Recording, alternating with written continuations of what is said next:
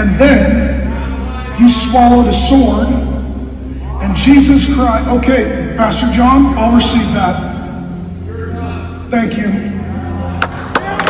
Much has been made about Mark Driscoll being yanked off the stage at the Stronger Men's Conference, but I'm going to talk to you about what really happened, why it matters, and in the second half of this video, I'm going to be interviewing someone who has firsthand experience with Mark Driscoll, and we will see. I'll show you some video that will prove beyond any shadow of a doubt that Mark Driscoll is is eager for publicity. This is a publicity stunt, and he is a liar.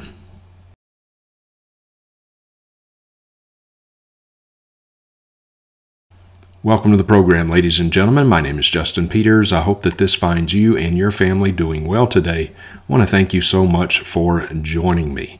So, just a few days ago, Mark Driscoll was indeed yanked off the platform of the Stronger Men's Conference because before he spoke, there was a, a performer that got up and uh, did a sword swallowing act, and he took that. Mark Driscoll took that as um, this guy trying to seduce the men there, apparently with a Jezebel spirit, which is bizarre, and we're going to get into all of that. And i have enlisted the help of a friend of mine named Gabe Hughes. Gabe is a pastor in Casa Grande, Arizona, and he also has the YouTube channel WWUTT when we understand the text. And Gabe and I both did some research into this, and we're going to talk about what happened. We're going to play some clips from this conference, uh, why it is important. So that will be the first part of this video.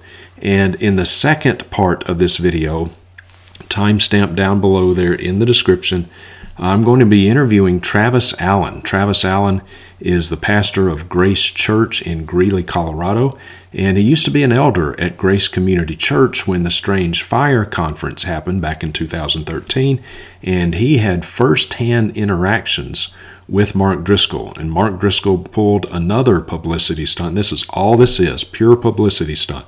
And uh, Mark Driscoll did the same thing 11 years ago now. And Travis Allen had firsthand interaction with Mark Driscoll, and we have footage from the scene. And it will prove beyond any shadow of a doubt that Mark Driscoll is an absolute liar. And he is manifestly both unqualified and disqualified from being in the pulpit. So, we're going to talk about all of this. So, first part of the video here is my interview with Gabe Hughes. Well, Gabe, brother, how are you? Doing great, Justin. Thanks for asking. It is a beautiful sunny day here in southern Arizona. We're already getting up to 95 this week in April. So it's looking to be a hot summer. Yep. oh man. Oh man. They're they're predicting a possibility of snow up here in Montana in a couple of days. So no. That's not us. Yeah. that's that's that's not Arizona. Nope. Nope. All right. Well, Gabe, thank you very much for coming on the program, brother. And uh, you were about to text me last night when I called you about about this subject matter. So, quite the uh, quite the brouhaha has been uh, brewing over this um, Stronger Men's Conference yeah. Uh, at, at, which Mark Driscoll was a speaker. So tell us, um, tell us a little bit about what is this conference. So the Stronger Men's Conference has been going on for uh, about seven years. I think it started back in 2017, at least from what I was able to find. At least uh, you know going back that far. And Mark Driscoll has been involved in this conference for at least that long. This mm-hmm. is a church in southern Missouri. Do you have the name of the church? Uh, James River Church, I think is the name of it. James River Church. Yes. Yeah. So they're the ones that put this on, and it's it, it's almost like they try to outdo themselves every year. It gets bigger mm-hmm. and bigger. It's almost like a Super Bowl halftime show. They'll have yeah. about the the most macho stuff that you can think of with tanks rolling through and piling over cars and monster trucks and pyrotechnics and rock music and uh, you know it just gets bigger and bigger so they'll even have people that'll perform these elaborate stunts. There will, of course, at least according to their claim, be a presentation of the gospel. I know that one of the things that they were claiming uh, at this most recent conference that has gathered all this attention is that, you know, several hundred men came forward and gave their lives to Christ. So they claim that it's an evangelical thing. uh, of course, our experience with big evangelical churches that do stuff like this is it's often a very watered down gospel. Yeah. Now, I've yeah. known men that have attend, attended stuff like this, and they will tell me, "Yeah, I got saved there," but then they mature in their faith and recognize, "Boy, what a circus that was!" And praise yeah. God that He was able to use something like that to draw me to Himself. But overall, you're not going to get uh, any true gospel preaching, an understanding of sin, the wages of sin, which is death, the eternity of hell that will come upon every person who is uh, who does not turn from their sin to the Lord Jesus Christ. Uh, oftentimes, it's a very watered down presentation. It, it's it's huge on pyrotechnics, but not so much on theology. Right. So this uh, uh, there was a fellow actually that had contacted me in the midst of this controversy and had said that uh, that he and his pastor have had a ministry in southern Missouri where they have evangelized people out of uh, this particular church and the influence that that church has had over the area. So he said it, it's it's a pretty big deal, and uh, very unfortunate to see how much influence they've had in their region. Yes, indeed. And James River Church, this is a, an enormous church. And so, to give people an idea of the theological flavor of this church, this is a Word of Faith church, NAR. Uh, Bill Johnson has been a guest preacher at this church at least one. I think more. I think i am safe to say more than once. So yeah, I um, knew at least one time. Yeah. Yeah, yeah, and I think more than that. So uh, if you're having Bill Johnson of Bethel Church come in and fill your pulpit, that speaks volumes about who you are and what you believe. Absolutely. Uh, other teachers have included Craig Groeschel, who is uh, yeah. of Life Church in Oklahoma City, uh, John Gray, who used to be one of Joel Osteen's pastors, and the man is a is a multi-time adulterer. Yes. Um, in yes. addition to being a prosperity gospel preacher and word of faith, like you mentioned, I mean, they all claim that God speaks uh, specific messages to them, and so mm-hmm. what I am saying is from God, and you must listen to me. That's that kind of theology is throughout this men's conference as well. Yes, absolutely, and uh, and they this is also the this is also the Show Me the Toes Church. Are you? Yeah, you told me that, and I I had totally forgotten about that and did not realize that that was related to James River Church. So you're going to have to you're going to yeah. have to uh, expose that one, I guess. Yeah. So, uh, so for those of you who are not aware, so James River Church, pastored by John Lindell, this is a, a, a signs and wonder, word of faith, prosperity, gospel, health and wealth kind of a church.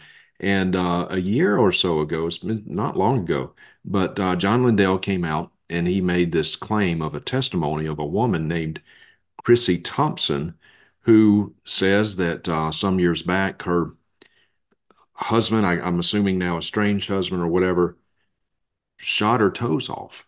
And she was in a service and her toes grew back. And there's video of her making this claim. And they said uh, the, the claim is is that everybody saw this. Her toes grew back. And Bill Johnson has repeated that story at his church, Bethel Church. So it's, but anyway, someone who is um, closely associated with James River Church and Chrissy Thompson uh, knows her, doesn't believe it, and uh, put made this website. It's I'm looking at it right now. Showmethetoes.com. Oh my goodness! Show, show me the toes dot com.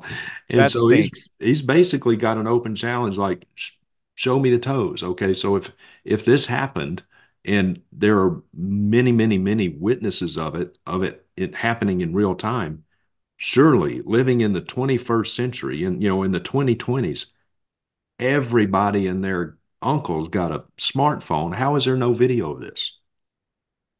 I mean, yeah, I, I would right. I would I think that would, if I saw something like that, I think that'd be worthy enough to whip out my iPhone and take some quick video. But uh, yeah, so this is a that's a story. That's a story that has no soul. Oh, I see what you uh, did there. Yeah. I see what you did there. All right, so this is a heretical wackadoodle church. Um, yeah. Um, women pastors and the whole nine yards, all that stuff okay. that goes along with yeah. the charismatic movement. So that's what we're dealing with. All right. So on to the subject matter at hand. What brings us together today to paraphrase paraphrase uh, the Princess Bride. All right, so I'm going to play this, and um, This is a clip of what happened at the men's conference. So, for context, well, let's set up the context. At this men's conference, Gabe, there was a man by the name of Alex Magala, correct? Mm-hmm. Right. Who got up and performed apparently at least a half hour before Mark Driscoll preached.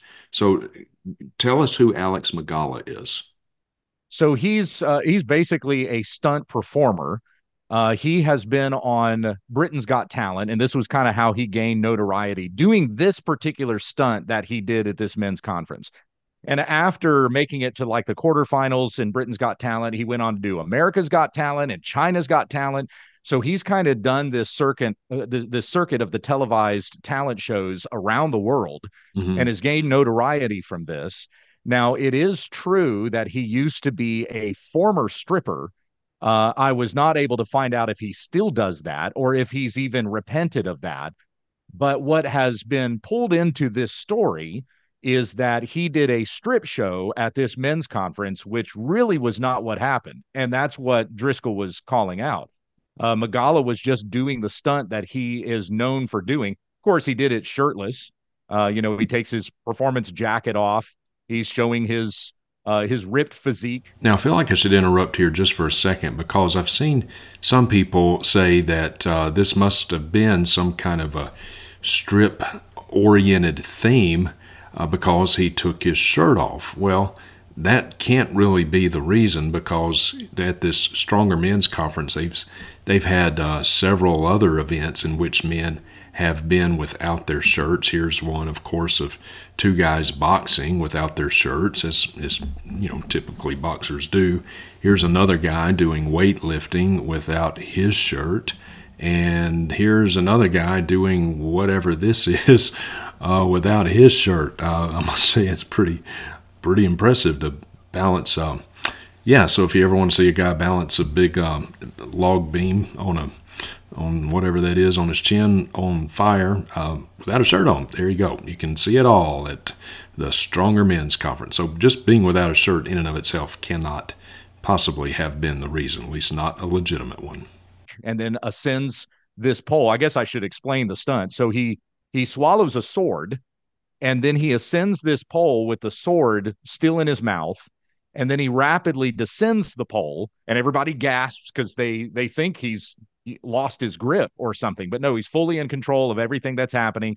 And just inches from the ground, he stops before the sword, you know, would would hit the ground and impale him if that would happen. Yeah, uh, it's a pretty death-defying stunt, but that's what it is. It's a stunt. It's like a circus performance, and of course, that's what this men's conference is too. It's a it's a goat farm. It's a big circus performance. It's yeah. entertaining the goats. It's not uh, it's not preaching the gospel. That's right. That's right. Okay. So I'm going to play this video clip. Someone with their smartphone recorded this. This is not like an official feed or anything. Just someone in the audience posted this.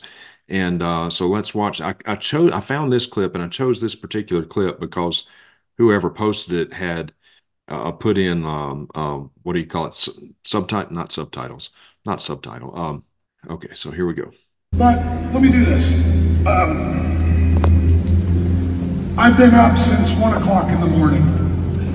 The reason I'm hoarse is I have been praying for you, and my heart is very burdened for you. Okay, Gabe, I want to pause it right there. He says, I've been up since one o'clock in the morning, and the reason my voice is hoarse is because I've been praying for you, and my heart is burdened for you. When I heard that, I thought, isn't there something in the Bible about not letting your right hand know what the left hand is doing? And, you know, yeah, when you pray, don't sound a trumpet don't sound the trumpet about it. Yeah. And, and uh, I mean, I've, I've obviously, as a Christian, prayed a lot in my life. I've never prayed myself hoarse. That just sounds yeah. weird to me. And if is he staying in a hotel and he's yelling in his hotel room that is making him go so hoarse? I I don't. Uh, I think somebody would call the front desk and go, "I think right. the man next door is possessed." If you're praying hard enough and loud enough that you've yelled yourself hoarse, yeah, I think is God hard of hearing? I just that just doesn't make any sense. So any, right off the bat, this has a ring of like, I ain't believing this, but here we go. Well, and by the way, before you before yeah. you continue, there's even some context before this part where Driscoll says that uh, I'm gonna I'm gonna talk about this in my next session, if they allow me to come back. That's so right. it's almost like he's ready for he knows he's going to say something that's going to probably get him booted. Uh, and it, it really does kind of have a, an air of of uh, he was he was planning this. You know, he was taking Yes. an opportunity to do something here. Yep. Yep. I agree 100%. And we're going to see that here in just a minute, too.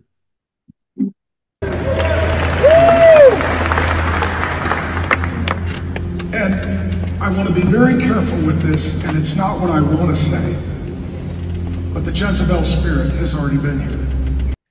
Okay. The Jezebel spirit has already been here. What is a Jezebel spirit? I have no idea.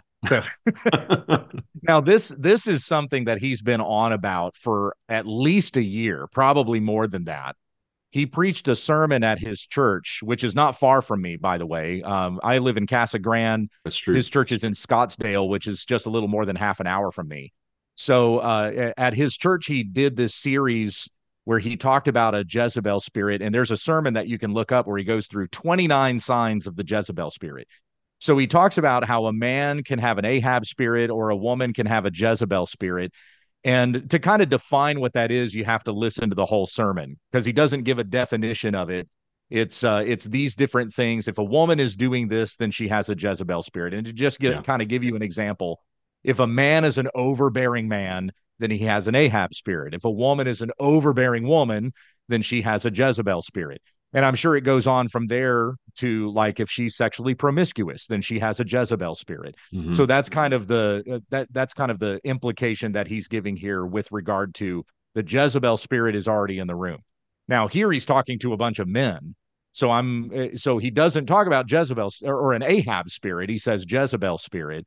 But Yeah. this is all kind of like stirring up the the niche thing that he's been preaching on for the last year or so. Right, right. And this this fits perfectly. You know, he's gotten wrapped up with the modern uh, demon slayers and uh, casting out demons and all this kind of stuff, binding Satan, all that. You know, and if you've got a, if you've got, if you're an alcoholic, if you're looking at porn, if you're, you know, uh, got anger issues, you've got a demon. Yeah, right, Exactly. You got a demon. You don't have a sin problem. You got a demon. You just got to cast that demon out, and then you'll be all better, and and you won't have those issues anymore. So this is a way of short circuiting people's sanctification, uh, assuming they're even regenerate. Uh, the the Bible the Bible gives us instructions to repent, put to death the deeds of the body. If you if you're looking at porn, you don't have a the demon of pornography in you. You've got a sin issue, Right. And you need to repent. That is yeah, that's your flesh. You Yeah. are you have not put to death the sin that is in you. Uh, Colossians 3 verse 5. Put to death what is earthly in you and then the sins that Paul mentions includes sexual immorality and against such things the wrath of God is coming. So it doesn't say anything about cast that demon out of you so that you can live holy unto God. Put to death your fleshly desires that you may be holy unto Christ. That's not what you hear from this. You hear No. that you have a, a spirit of of some kind that needs to be cast out, or it's that it, you know, it's the old uh, the devil made me do it The- sort of yeah, thing. Flip Wilson theology. Yeah, the devil made me do it. All right. The Jezebel spirit opened our event. This is a rebuke and a correction of no one. This is an observation. Before the Word of God was open, there was a platform. It was a high place. On it was a pole, an Asherah. Okay, he says there's an Asherah pole. What? What? What is an Asherah pole? So if you uh, are familiar with the sins of Israel in uh, First and Second Kings, for example, they would worship the Asherah, who is the mother god, and they would uh, erect a pole that would be the uh, symbol of the Asherah. It's kind of like Baal's wife, and uh, and so that's what he's claiming this was. So this stunt that this guy performed, climbing this pole and rapidly descending the pole, is Right. is an altar to Asherah. That's his claim. Right. Whereas that, you know, th this is typical of the charismatic tendency to spiritualize everything they see. You know, if you see something a little bit unusual, um, whatever it is, it's it's God somehow trying to get a message to you or something like that. It's you know I'm I am no apologist for the for the gimmickry that is rampant at this conference. I mean that's all it is is a bunch of gimmicks and you know um, pyrotechnics and a light show and all that kind of stuff. But come on, I mean this guy's a sword swallower. It's what he does. This is not an Asherah pole. I mean, good Yeah. grief, right? Yeah, and, and like I said, it turns out that this man does have a past as a stripper and has not just done this in front of women, he's done it in front of men. So he's a homosexual. What I don't know, because I really did not do a deep dive into the guy, but uh, what I am not sure of is if he's repented of that. Like, does the Yeah. man now claim to be a Christian? And so that's why he was brought into this Christian men's conference because he has a testimony of I used to be in all this sexually debaucherous stuff, and now I've repented of that and I've come to the Lord Jesus Christ. That would be interesting to know. If that's not the case, then the story here is not that they had a stripper performing a stripper performance, because that's not what happened. The story would be that they had an an outspoken, open homosexual entertaining these men, That's right. and That's that would be that would be a problem that needs to be called out. That would be that would be the issue, right? And uh, you went. You said you went to his website. You look went to Alex Magala's website. Yeah, and I did not click on any links or pages in there because if he is a stripper, I just don't want to see it. So, but it it did Can't have like there. the it did have like the list of stuff on the front of the page that was, you know, all the different talent shows that he's done and won and Right. stuff like that. But there wasn't anything on the front page that that uh presented him as a Christian performer. Yeah, So yeah. I don't know if that's part of his uh uh, of his shtick or not. right. And I went to his. Um, well, I didn't go to his website. I haven't even seen that yet. But I did find a video of him on Twitter that he posted. And I think it was about a year ago, maybe a year and a half ago.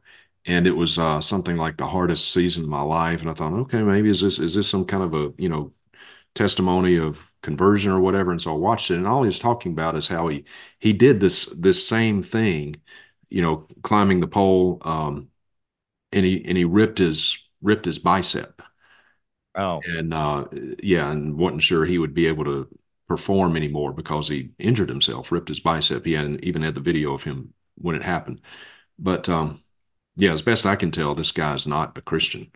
If he is, uh, we haven't seen any evidence of it, but. The same thing that's used in the strip club for women who have the Jezebel spirit to seduce men. Okay, he just said a Jezebel spirit to seduce men.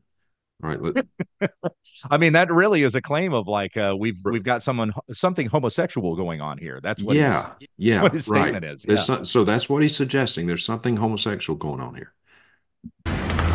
In front of that was a man who ripped his shirt off like a woman does in front of a pole at a strip club.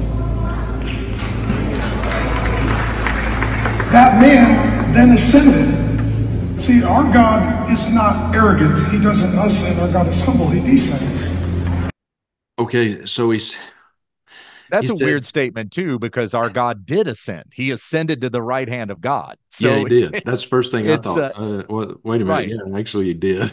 it's like he's trying to be profound here. And again, he's just selling his whole Jezebel spirit thing. And in the process of doing that, you know, he's he's really not biblical in anything that he's saying here. Yeah, no, he's no, he's not. And and I don't think a single man in that room, when they saw this guy climb up the pole with a sword in his mouth or whatever, I don't think a single one of them thinking, "Wow, that's a really beautiful picture of of what God did." Who's who's Yeah. who's even thinking that? You know?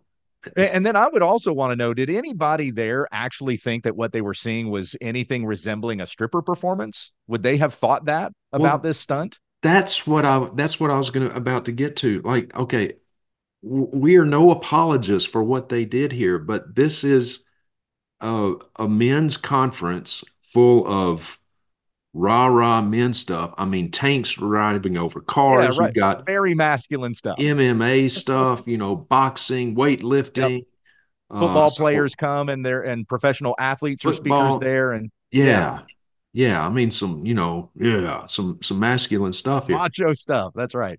I would wager to bet there is not a single homosexual in that room. why? Why would they have some? Why? Uh, at least not openly, but yeah, at least not openly. Yeah, that like that would be to have to have a male stripper come in and perform. That would be the like the last thing they would ever want to have come in at a conference like this, right? Right. Yeah, for all the different things that James River Church does with this particular conference, that's not anything that we've seen before um uh, no. in this conference it, it's not becoming progressively more homosexual it's it's uh-uh. more and more macho every year is what they're trying to yeah. do but, but i mean furthermore driscoll has fed into this he's been involved in this men's conference since 2017 so right. the the more grandiose it gets every single year he's contributed to that and you don't hear any humility in what he's saying here. Like he's he's not going, listen, guys, I've been a part of this for seven years and we're letting this get out of hand. And I'm sorry that it's gotten this far. There's no humility in this in this at all.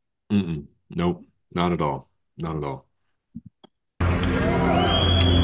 And then he swallowed a sword, and Jesus cried, Okay, Pastor John, I'll receive that. Thank you. Okay, so and that's when John Lindell, the pastor, said, called out, "You're done. You're done. Stop. Right. You're done." And um, and then Mark Driscoll walked off, and so so uh, John Lindell now walks up on the platform. Wow.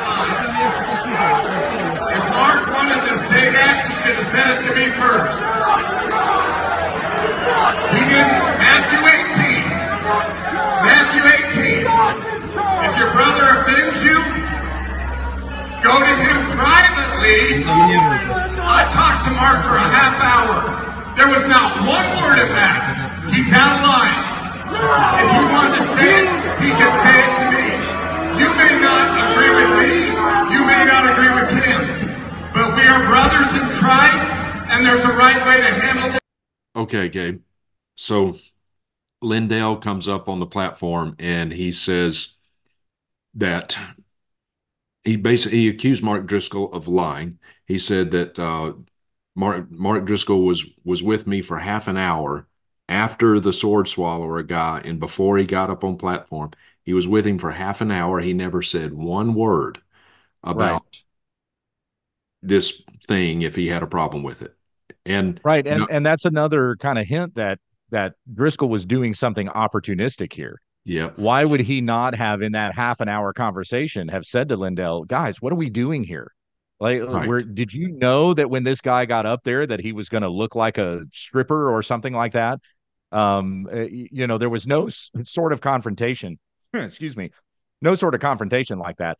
Now, I'm not one who thinks that this necessarily needed a Matthew 18 sort of exchange where you go to the brother who's offended you, you talk with him, uh, this Matthew 18, 15, where Jesus gives the mm. uh, the guidelines for church discipline. You talk with your brother alone, and if he repents, well, then you've won your brother. Yeah. But if he doesn't repent, then you bring two or three others along that every charge may be established by the evidence of two or three witnesses. If he won't listen to them, you take it to the church. And if he won't listen to the church, then you treat him as a Gentile or a tax collector. Now, in this particular situation, if it were like a false teacher or something like that would be on the platform, which there have been plenty of those at this particular men's conference. No doubt. Then another teacher coming up and calling that out, I don't think that needs a Matthew 18 approach. Jesus didn't privately confront the Pharisees before he called out the Pharisees. Mm-hmm. But in this particular situation, you you clearly had a situation where they're they're alone together and mark doesn't even tell the guy i'm going to go up there and i'm going to call this out yeah. or ask any questions to see like how much lindell knew that this man was going to do when he uh, did this performance or anything like that it really looks like driscoll took an opportunity mm-hmm. and he and he said something that has been part of uh, the preaching that he's been doing for at least the past year this platform issue that he has of a Jezebel spirit. Yeah. Yeah, that's exactly right. Very opportunistic. Yeah, if he was so bothered by it, he he should have said something in the half hour he had before he got up on the platform. This is this is uh but this is typical Mark Driscoll. He's wanting to um wanting to to make a name for himself, wanting to get his name in the in the headlines and he certainly did that. You know, but um uh and I must say I find it ironic anytime I hear churches like this quote Matthew 18, my first thought is, well, how convenient. You don't even do Matthew 8. You don't even do church discipline at your church. I guarantee you, James River Church has never done church discipline. They always stop right. with verse 15. You know, right. they never go through all the way through verse 20 and uh, get to the point where they get up on a Sunday morning and tell the entire church what, you know, Billy Bob and their congregation has been doing, what his sin is and all that. They never do that. So at any rate, I digress. But, you know, if if the Jezebel spirit is there trying to seduce men through a male stripper, um, I think the Jezebel uh, she came to the wrong conference because I don't I don't think she's going to have a lot of success. Yeah, and it is kind of funny too that he that, that he throws women under the bus. Like, what does a Jezebel spirit have anything to do with with any of this? This right. this would be hyper masculinity would be the problem here more so than yeah than some sort of Jezebel spirit. Yeah, that's right. That's right.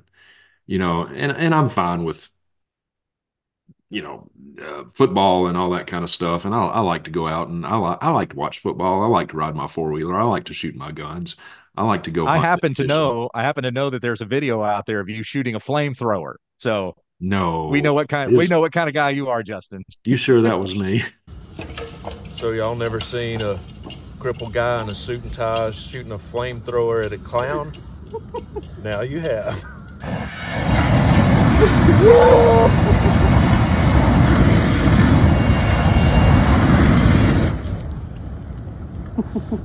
oh Nelly.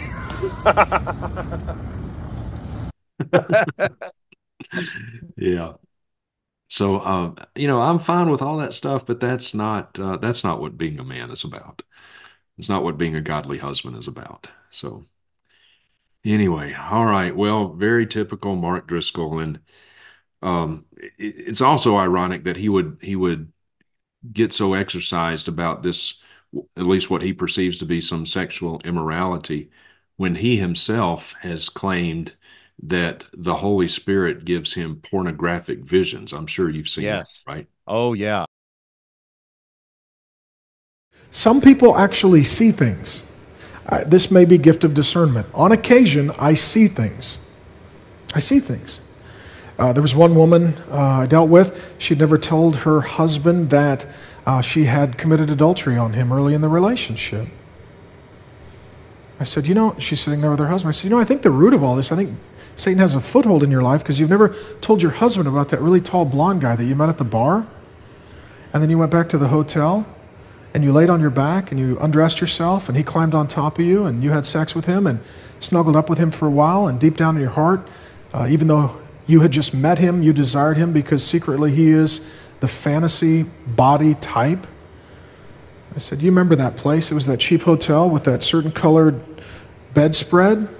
You, did, you had sex with the light on because you weren't ashamed and you wanted him to see you and you wanted to see him. She's just looking at me like, I said, You know, it's about 10 years ago. I mean, that, and yeah, I somebody else brought that up last night too, and I was seeing people respond to what Driscoll was saying. It's like apparently Driscoll didn't have a problem with God showing him pornographic images in his head, at least according right. to him. That's his claim, which would be a very uh, that's blasphemous to say that that uh, that God's giving you these images of of these women doing these sexually immoral things, which mm-hmm. he's lying about that and doesn't seem to have a problem with proclaiming those kinds of things. Uh, doesn't call out his own sins, has never repented of the stuff that he's done. You know, if if people are are watching and are not familiar with Driscoll, there's something like there's a letter with something like 30 former elders with Mars Hill Church that that since he's left have said this man was never repentant. He has never apologized for anything that he's done. The That's abuses right. that he did while he was a pastor, the lying, the cheating, the stealing, uh, manipulating church funds and all this kind of stuff. Driscoll is not a different person. He's just moved on That's to right. his next grift, and and it's sad that our our memories are so short over the stuff that he's done just just 10 years ago. It was 2014 when he left Mars Hill Church. He's yeah. been doing this men's conference since 2017. Yeah. So he just yeah. moved on to his next thing, and there are people that are uh, cheering for him, completely unaware or or at least willing to forget that this man is unqualified. He is not fit to be a pastor. That's and right. uh, and is every bit as much of a problem of the stuff that was going on at that men's conference um, as the stuff that he was calling out. He's contributed to all of this. He's not a hero here.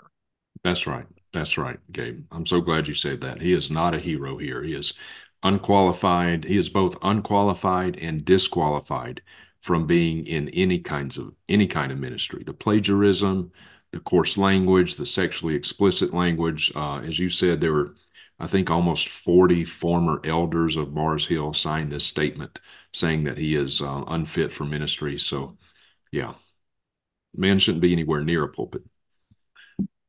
All right. Well, well, Gabe, brother, thank you very much for your input here. Uh, appreciate your help. Always a pleasure being on. I thank you for uh, playing uh, that recent video of mine too. Yeah. Uh, just to just to give a plug, excuse me, uh, to give a plug for this, you helped me push my YouTube channel WWUTT over fifty thousand subscribers because you played that video. So yeah. I thank you for that. Well, I'm happy to do it, brother. I, I, appreciate. You know, there's some there's some really bad YouTube channels out there in the evangelical world, but there's some good ones too, and I like to I like to promote the the good ones and point people in uh, their direction. And yours is one of them. WWUTT. Link down below, dear friends, in the description, as well as to to Gabe's church out there in in what town again? Casa Grande, Arizona. Casa Grande, Arizona, where it's 95 degrees right now. So if you like the heat, go pay them a visit. All right. Thanks, Gabe. God bless Appreciate you, brother. It. Thank you. You too. Okay, now, dear ones, my interview with Travis Allen, who had the first hand interaction with Mark Driscoll in the publicity stunt that he pulled at Grace Community Church back in 2013. And uh, it's my joy to interview him. This will be very enlightening into the character of Mark Driscoll. Okay, well, Travis, brother, thank you for joining me. How are you today? Hey, I'm well. How are you, Justin? Good to see you. Good to see you too, brother. Good to see you too. Always good to see you.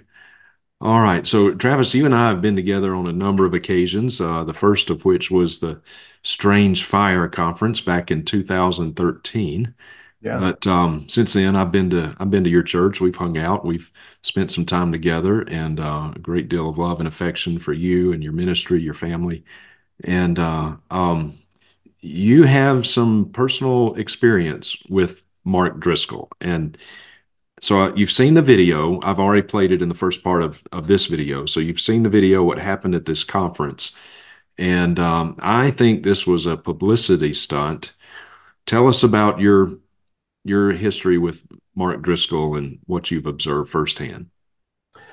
Right. Um, well, there is precedent for you assuming that this might be a publicity stunt. Um, when in, back in 2013, um, Mark Driscoll and James MacDonald were on their way to a conference um, where they were going to be speaking. And I think like bringing a bunch of a bunch of like Acts 29 pastors with them and things yeah. like that. So they were down in the Southern California area. And the way he told the story is they just happened to be in town and hey, why don't we pop over to the uh, to the Strange Fire conference? Uh, I think these these guys would uh, you know they'd appreciate some free copies of the book that I just wrote. I just want to be gracious and hand out some copies and that kind of thing. So he showed up on campus and it kind of was causing a little bit of a buzz.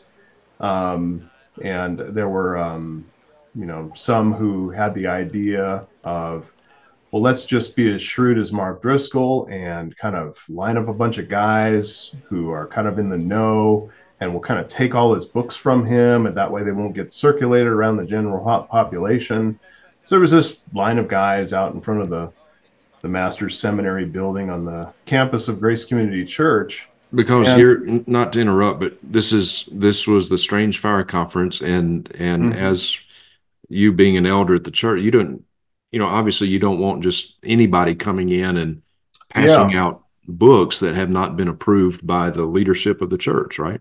Yeah, well, it, it, thanks for thanks for uh, interrupting with that because it's it's important probably to say that I was uh, at that time I was I was working at Grace to You as the managing director, and I was an elder at the church and and uh, you know pastor there uh, uh, at one of the fellowship groups there at the church. But my my uh, my main work during the week was at Grace to You as the managing director, and, and Grace to You was putting this conference on. It was a Truth Matters conference, right? And it was, uh, but themed for Strange Fire, which was the book that John uh, wrote to expose the of the charismatic movement and to uh, to confront the abuse of the Holy Spirit, the doctrine of pneumatology, and to set the record straight on the Holy Spirit. It was a fantastic book um, you know, yes. parallel with uh, Charismatic Chaos, which has also been a very helpful book. But anyway, so Grace You is uh, putting on this conference, and I had been tasked with uh, organizing this, bringing it together, and conducting, you know, all the research and stuff for it, and and uh, putting this thing into play. So we'd obviously had a number of people who had come to, um, you know, come to distribute books or set up, you know, vendors or uh, people promoting their ministries and having ministry tables or ministry displays. And all of that is vetted beforehand. And so, you know, you go through a process for that and, um, you know, you're right. approved or not. And so that had already happened. It's the conference is going on, and Mark Driscoll shows up to, you know, essen- uh, essentially to act in a de facto way as a vendor, promoting his ministry and handing out his books so I, you know, as the organizer of the conference and and having a role there, I just thought, well, this this isn't right. And so again, there were there were guys lined up, kind of in the know, taking his books and things like that. And so uh, I I just happened to at the time be in John's office and talking to some of the guys and and uh, I just said, look, John, this is you know this is going on. John MacArthur is completely unfazed by this kind of stuff and he he he he could kind of care less one way or another. He's like you know god's going to take care of this stuff. And i just said john do you mind if i just go and uh, confront this and ask him to uh, stop handing out books? And you know look look i'll invite him to the conference. I'll give him a wristband so he can join the conference. I think he hmm. could really benefit from uh, the sessions at the strange fire conference and learn a thing yeah, or two. that's for sure. Uh, so john said yeah go for it. So went down there grabbed uh, the head of our security department, Tom Hatter, uh, who's a he's a good friend and a dear man. Uh, you know, long career with the LAPD, used to handling all kinds of issues, and so just a very competent uh, man to have by your side. I went to went to Mark and I said, "Hey, listen, you know, I just kind of introduced myself, introduced Tom, and just said, look, Mark." Mark, just want to introduce Hi, you to our head of our security, Tom Hatter. Tom Hatter, nice to meet you. Uh, you know, we've had people who have who've actually formally applied to be vendors here. Uh, you never applied; you're not on that list, and really, you appro- handing out books at this conference is really an inappropriate thing. Could you please not do that?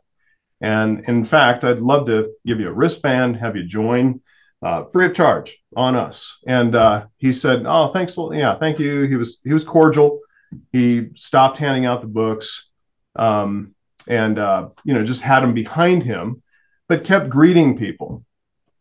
So I just backed off and let that let that continue, and um, um, watched him for a bit. And I noticed that he was talking with guys and he'd shake their hand, they'd go right around him and go grab one of the books out of the box. And I thought, well, that's interesting. Hmm, maybe it's maybe it's an anomaly. No, man number two, man number three, over and over it goes on down the line. They're, they're talking to him for a couple minutes, shake his hand, go around, grab a book.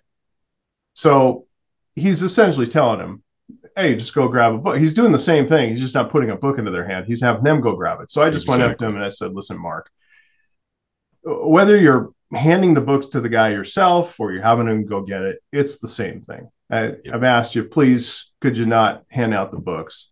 And I don't remember if it was in that first exchange or this second exchange where he said, What are you going to do if I don't? You know, what are you going to do if I if I keep handing them out? And I just I, I thought to myself, what are we like in junior high? I this Right. this is strange that you would kind of front up to me like that. And so I just said to him, Yeah.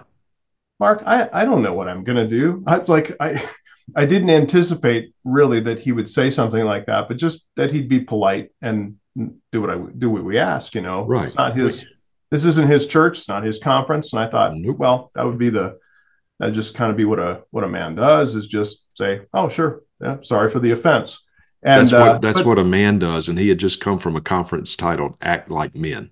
Th- that that was the irony of it. Yeah, the the conference that he and James MacDonald were were heading down to was uh, was the Act Like Men conference. And James MacDonald was there with him too, correct? he was, yeah, he was kind of wearing like a like a do rag or something, and and he, they, they were driving like a I don't know if it was a Mustang or a Camaro or something, but it was kind of parked out back of the the seminary building. And uh, you know, there were people kind of chatting those guys up, getting some pictures and selfies, and I don't know what they were doing. Anyway, so I just said, look, you know, could you please not do this? He's like, what are you going to do if I don't? I said, uh, I don't, I don't know. I haven't really, I'll think that through when I have to, but could you please not do it? And so he, um, I think Tom had also talked to him and said a couple things, introduced himself. And so he said, look, um, I'll give you the books. And uh, we said, yeah, Mark, we don't, thank you. We don't want your books. He said, no, I'm giving you, it's a gift to you. So now just let us, Tom will grab them. We'll just put, go put them back in the Mustang or, you know, whatever your car is. Uh, take them back behind the building, and put them in your car.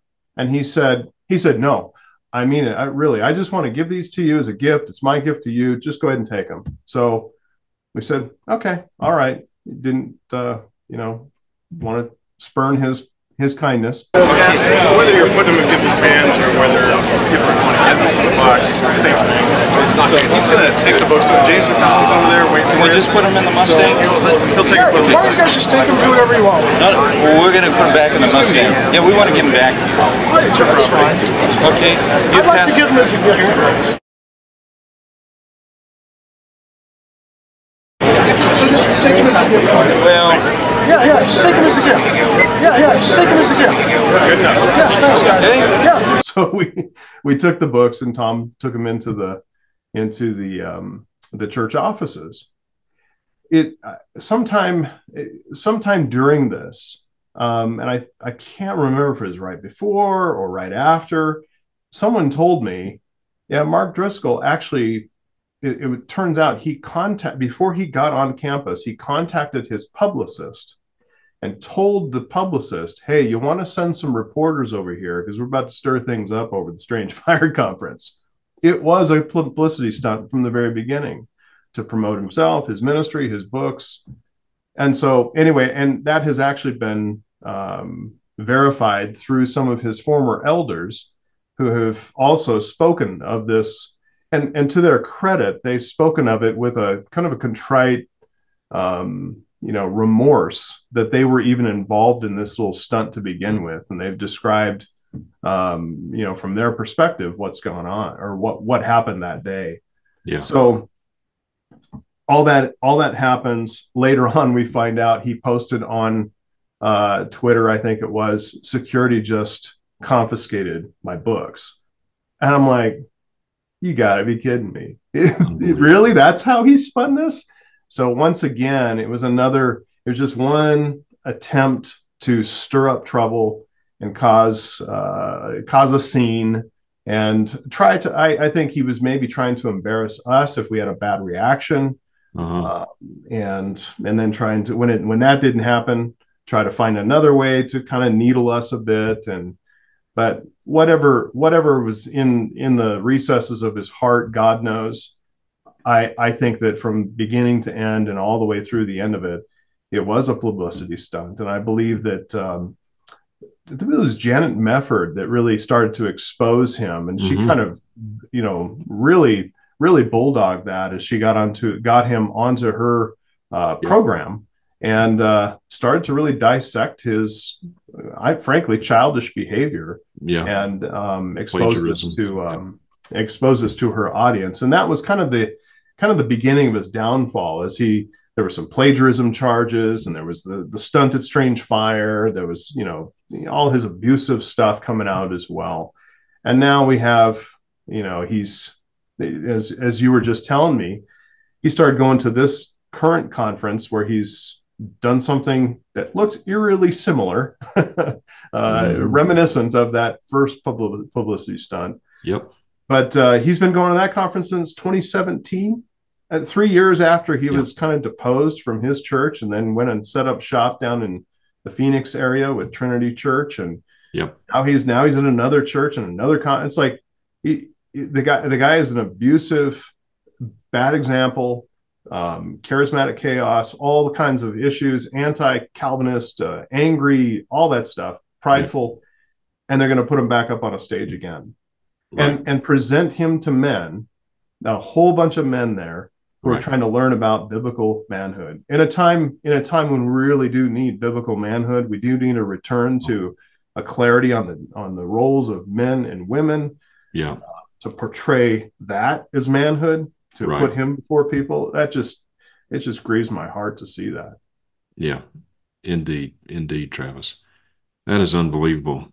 You know, to to set this up, to plan it out, to to to contact reporters. Hey, I'm gonna and tell them I'm gonna I'm gonna stir it up at the Strange Fire Conference, and then to and then to just flat out lie eh, Right. about you're saying that his books were confiscated. Yeah. That's I mean that's a bald faced lie. It is it is a bald faced lie i was uh, you know and again uh, to to to take someone like that and put him up before men Yeah. and and and then uh, you know again the whole premise of the I, I think of your program is you're talking about that stronger men conference Yeah. and it's got it's got bull riding and tanks destroying vehicles and monster truck and motorcycle jumping and it's like Evel Knievel mixed with church. Yeah. and you got you got you know mark's taking issue calling a jezebel calling out about a Je- calling out a jezebel spirit because there's a sword swallower that's ripped his shirt off and climbed a pole with a sword in his mouth. And i'm wondering what is more unfitting in that setting? The Yeah. sword swallower or mark driscoll? I can tell you what's unfitting is the name of jesus christ is unfitting in a place like that. Yeah. i mean do all that stuff have nfl quarterbacks come in and all you know to try to legitimize what you're doing. Yeah.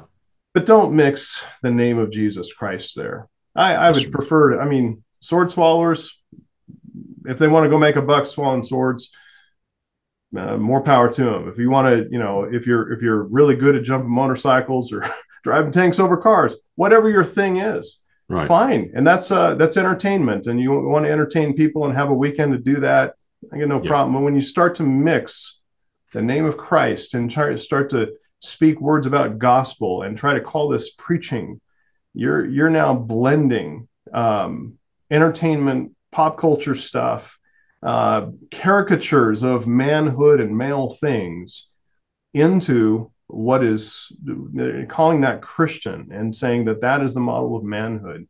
I think there are a lot of men who are being led astray by that. And I just would like to see men be men and look at Yeah. Jesus Christ in the scripture, not what's portrayed here, not definitely not what's portrayed by Mark Driscoll and his ilk, Yeah.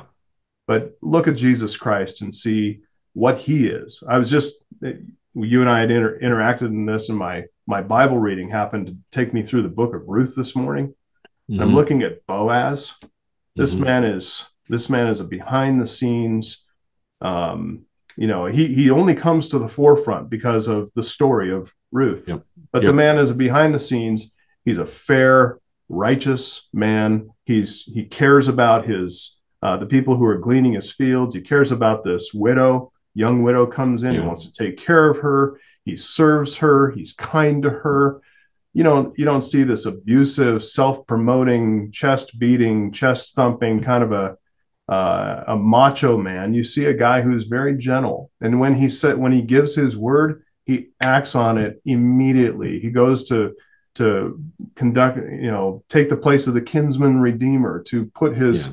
his his covering over this woman and care for her, to raise up children for her dead husband. I mean, a guy is totally self-sacrificial, giving himself to the law and giving himself to kindness and the compassion of God.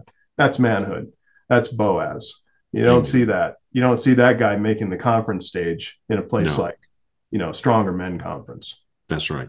That's right. Amen. Well said, Travis. Well said.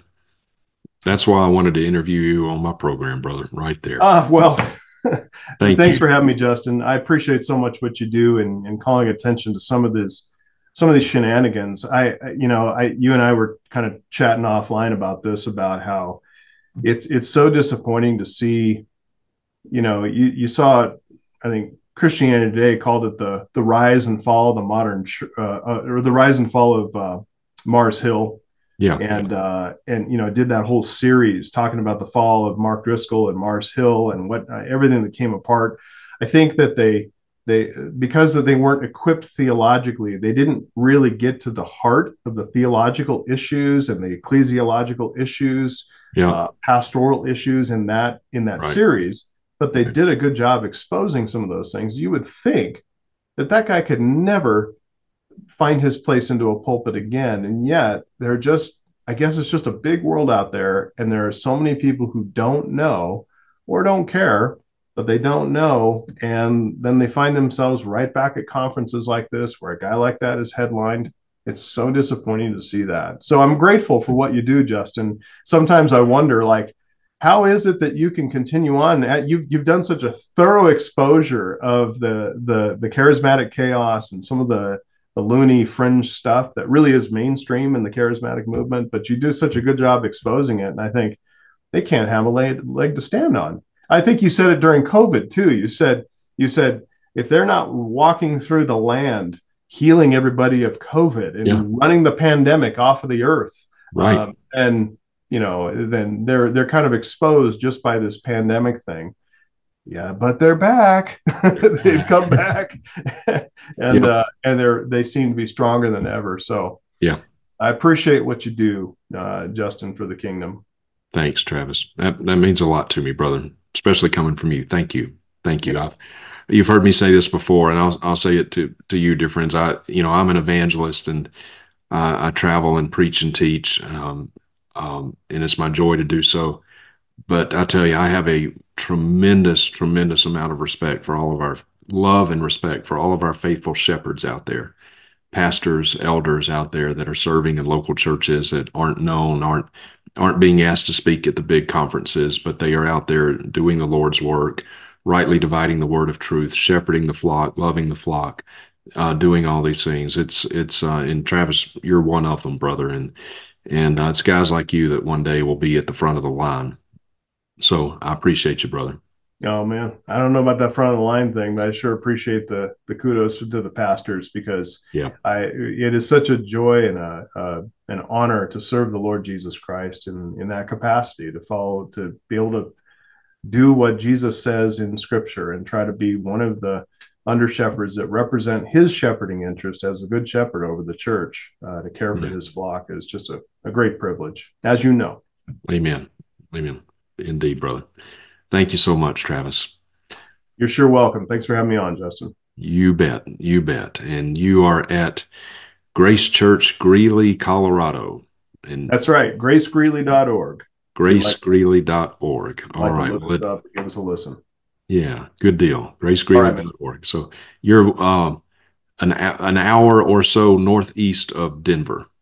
Yeah, just just north of Denver. I mean, it's it, it's almost a direct line up, Yeah. but yeah, uh, just go up Yeah, by 25, true. about forty five minutes an hour or so. We're we're just off to the right a little bit. Depending on traffic. All right. Okay. Well, I love to point people to good, solid churches, and so uh, maybe some folks watching this will will discover you guys and and and give you a, a visit. Come yeah. Well, thank thank you, Justin. We'll have to have you back sometime soon because you're well loved around here. So appreciate you. I would love it. Kathy and I both would, All right, man. but she won't be preaching, just me. All right. Thanks, Travis. See you, man. Bye. I hope that this has been helpful for you, dear ones. Thank you very much for joining me, for watching the program. Until our next time together, may the grace of our Lord Jesus Christ, the love of God, and the fellowship of His Holy Spirit be with you all. Mark, just want to introduce Mark. you to our head of our security, Tom Hatter. Tom Hatter, nice to meet you. Okay, so whether you're putting them in people's hands or whether people are going to give them the box, same thing. So he's going to take the books. So James MacDonald's over there waiting Can for we you. just put them in the Mustang? he'll, he'll take it. put 'em in Why don't you guys just take them, do whatever you want? No, no, well, we're gonna put them back in the Mustang. Yeah, we want to give them back to you. It's your property. Okay? I'd like to give them as a gift just take as a gift. Well, Yeah, yeah, just take them as a gift.